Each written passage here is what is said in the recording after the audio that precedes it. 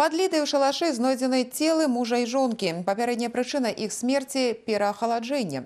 Такая інфармацыя размешчана ў тэлеграм-канале следчага камітэта.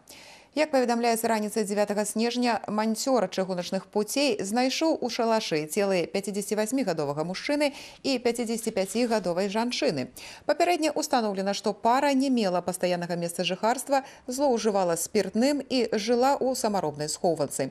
Следчымі з удзелам спецыялістаў дзяржаўнага камітэта судовых экспертыз праведзены агляд месца, зафіксавана следавая карціна, прызначаны неабходныя даследаванні.